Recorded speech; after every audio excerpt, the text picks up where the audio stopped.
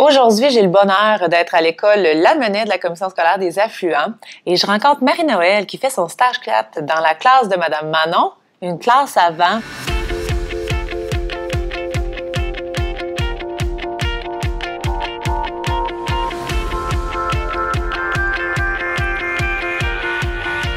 Marie-Noël, tu as vraiment fait le choix d'être stagiaire auprès de Madame Manon parce qu'elle a une classe avant. Qu'est-ce que tu souhaitais apprendre ou voir de, de, la pédagogie de Manon dans une classe avant?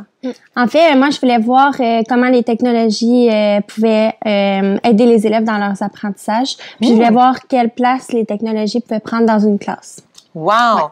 Puis à la lumière de ce que tu as vécu avec Madame Manon, qu'est-ce, avec quoi tu vas repartir comme, comme constat? Euh, comme constat, ben c'est sûr qu'il faut pas avoir peur de se lancer. C'est sûr que ça va pas toujours comme on veut, mais on s'adapte. Puis les élèves sont capables de, de nous surpasser, là, vraiment. Wow. Puis qu'est-ce que tu as vu comme bénéfice sur leurs apprentissages aux élèves? Je dirais que c'est plus au niveau de l'engagement puis de la motivation. De l'engagement, de la motivation. Puis comment tu l'as vu particulièrement? Euh, ben en fait, c'est les élèves qui nous proposent d'utiliser, par exemple, euh, une application pour un projet. C'est eux qui veulent aller plus loin que ce que nous, on leur propose. Wow! Puis là, est-ce que ça t'a donné le goût, toi aussi, d'éventuellement avoir une classe avant? Oui, en fait, c'est ça que je disais à, à Manon, mon enseignante associée. Euh, j'ai hâte de voir comment je vais faire pour ne pas être dans une classe avant quand je vais avoir euh, ma classe. Mm. Comment tu ferais si tu n'avais pas une classe avant, par exemple? Puis là, toi, comment tu décrirais ta, ta pédagogie comme future jeune enseignante? Euh, je dirais une pédagogie euh, ouverte. Ouverte? Oui. Qu'est-ce que ça signifie pour toi? Euh, ben, une pédagogie ouverte, je pense que ça vient, euh, c'est l'enseignante qui est ouverte à tout ce que les élèves peuvent amener euh, comme projet, comme idée. OK. Ouais. Puis, toi, comme jeune enseignante, là, est-ce que tu dirais que tu es très familière avec l'utilisation de technologies?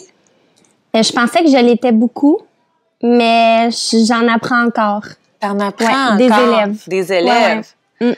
Mais oui, tout à l'heure dans la classe de Madame Manon, il y a même une petite fille qui m'a dit "Tu vas voir, tu vas en apprendre de ce qu'on va te montrer." Puis c'est vrai, même moi, il y a des choses que j'avais pas euh, déjà vu fonctionner. Puis qu'est-ce qui t'a particulièrement surpris sur toi quand tu voyais ce que les élèves pouvaient réaliser? Ben, par rapport à moi, ça serait mon lâcher prise. Je pensais mmh. pas que j'allais être capable de les laisser euh, explorer, aller voir d'autres d'autres applications. Puis dans ta relation avec les élèves, comment est-ce qu'elle elle, elle se transforme avec l'accès aux appareils numériques? Mais je pense que euh, notre relation, ça devient plus un travail d'équipe. Mmh. Parce que eux m'apportent quelque chose, mais moi aussi, je suis capable de leur apporter quelque chose. Puis on construit ensemble nos projets, nos apprentissages. Moi, je vois vraiment ça comme un ensemble. Un ensemble, puis un travail d'équipe ouais, qui se construit ouais. avec mmh. les jeunes. Okay. Puis, puis qu'est-ce que tu euh, encouragerais les enseignants au travers de ce que tu as vécu dans la classe avant de faire? Oui, c'est sûr, euh, oser. Oui. Puis de laisser les élèves euh, expérimenter par eux-mêmes. Ils sont capables. Ils sont capables, hein? Oui.